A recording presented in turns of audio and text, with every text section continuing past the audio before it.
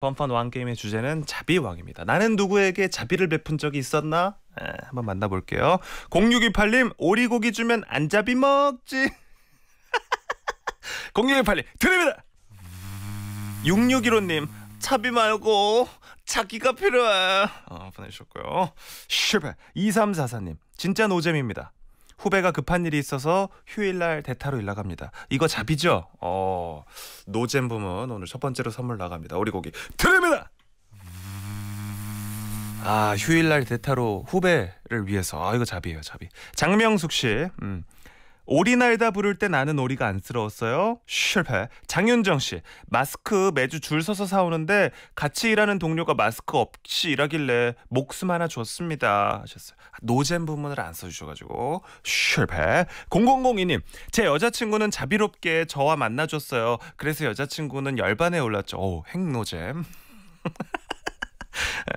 9864님 지금 공장에서 각종 손잡이 만드는 일 하고 있습니다.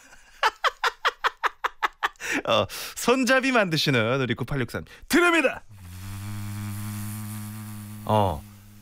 그 포옹을 너무 좋아하시는 분이에요. 어, 우리 청취자분들 중에서 가장 포옹을 좋아하시는 우리 안원조님, 안원조님, 안원조, 나 안원조. 이름이 뭐야? 나 안원조, 안원조. 영어 이름 뭐야? 헉, 헉. 안헉. 예. 저는 고등어도 잡인 고등어만 먹습니다. 안원조님. 드립니다. 네. 안원조. 7777님 아침마다 깨워주는 고릴라의 자비로움 쉐베 아, 퍼플김 네 김보라 씨요 헬스장 6개월 등록해놓고 처음 한 달만 나가서 헬스장의 매출 상승에 자비를 베풀고 있어요 이거는 정말 많은 분들이 이렇게 예, 베풀고 있는 자비죠 음.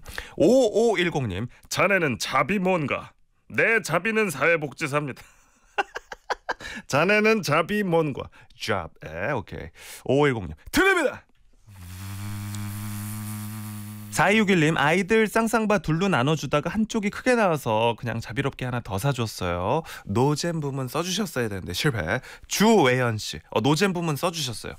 새들 배고플까봐 채소 씨앗 뿌리고 흙으로 안 덮었어요라고 어, 보내주셨습니다.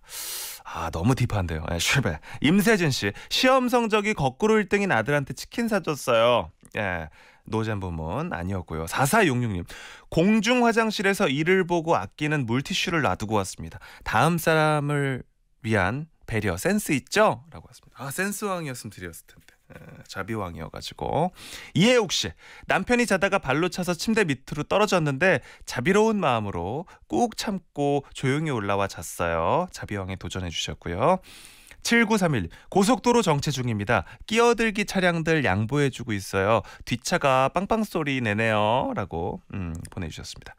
자 그리고 2769님 자린 고비입니다. 오늘이 고비입니다. 배고파 죽겠어요. 어, 센스 있는데요. 2769님 일단 후보로 올려두고요. 3802님 제 사비로 회사에 캡슐 커피 머신 사놨더니 회사에서 가장 열심히 일하는 기기가 됐습니다. 인기 폭발. 네. 모두와 나눠 쓰는 저 자비롭죠? 라고 하셨어요. 7666님 학창 시절에 자비가 없어서 학교까지 걸어 다녔습니다. 약간 네 슬픈 네 한승현 씨 슬픈 노잼 부문 또 도전해 주셨네요. 회사가 일이 없어서 자비롭게 무급 휴가로 도와주는 중이에요. 어. 어 정승아 씨 문자 갑자기 제 자신을 돌아보게 하네요. 예. 식대 청취자 이름으로 억지 부리는 거 웃어주고 있어요. 자비죠 이거 안 나죠. 5998님 노잼 부문 와이프가 입 벌리고 자는데 입 닫아줬어요. 어 입을 벌리고 자네. 귀엽겠다. 자, 어... 어, 이 문자 하나 보고 어, 광고로 넘어가도록 하겠습니다. 05111님이 자, 비로소 나에게 오리가 오겠군. 자, 비로소 나에게 오리가 오겠군. 0511님 오리고기 드립니다. 드리면서 버퍼도 한 케이크 여기서 마무리하고요.